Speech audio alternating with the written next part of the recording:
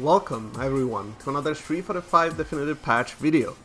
M. Bison didn't get very long notes this patch, but it seems Capcom believes the core character is balanced and they're trying to add some variety to his V-System choices instead, so let's see what they did.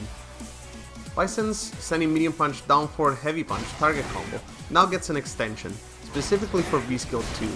This leads to some decent meterless damage as well as Oki. You couldn't easily land V-Skill 2 outside of neutral, so this is a nice way of building V-Gauge, and giving the V-Skill some extra utility.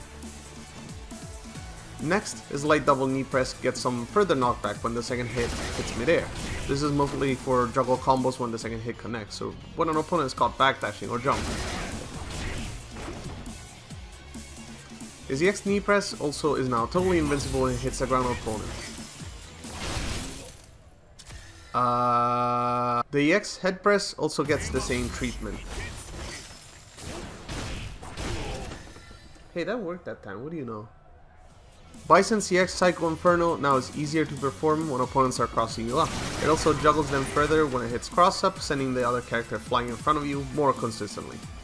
Now, let's talk about his V-Trigger 1 changes. Bison is now able to cancel non-EX special moves into other non-EX special moves during this V-Trigger, as well as into EX special moves if he wants. Note that he's not able to cancel an EX one into a normal one however. This opens up for a lot of new combos and doesn't force him to spend meter during this V-Trigger. Bison can also cash out with a super for big damage.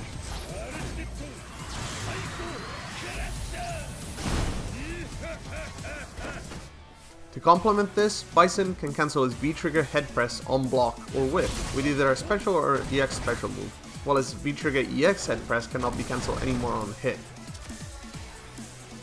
Finally, Bison's V-Trigger 2 got a little bit of a nerf. The V-timer as well as the cost of each V-Trigger 2 move has been decreased by 25%.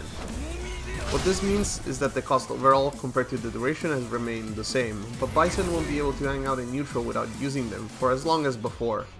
Just the last little nudge from Capcom to tell Bison players to use V-Trigger 1 a little bit more. And that's it. Overall Bison's notes are quite short, but as I mentioned before I think this means Capcom believes the character is overall in a good spot. I don't think this will change him too much in the grand scheme of things, but the ability to use V-Trigger 1 more effectively could bring some much needed variety to the character's game plan, as well as some new toys for Bison players to fiddle around with. What do you guys think of the Bison changes? Should Capcom go on all out? Let me know in the comments. As always, stay tuned for more patch note videos. Plenty more in the works for the coming days.